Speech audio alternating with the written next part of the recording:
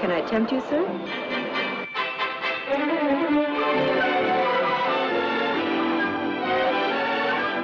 Excuse me. I'm the new girl. I'm late. But I locked myself in the bathroom and couldn't get out. We lose some of our best people that way. Come fly with me. That's your invitation to join these three airborne lovelies on a round-the-world manhunt. Dolores Hart stakes out some real nobility for herself. Oh, what a marvelous cigarette case. Only a reckless lass like Pamela Tiffin would set her romantic sights on a jet jockey like Hugh O'Brian. Ray.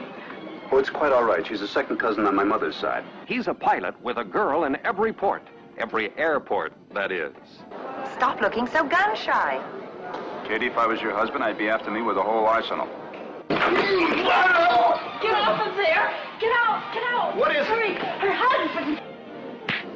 Come fly with me as your bid to take a fling at life, love, and laughter.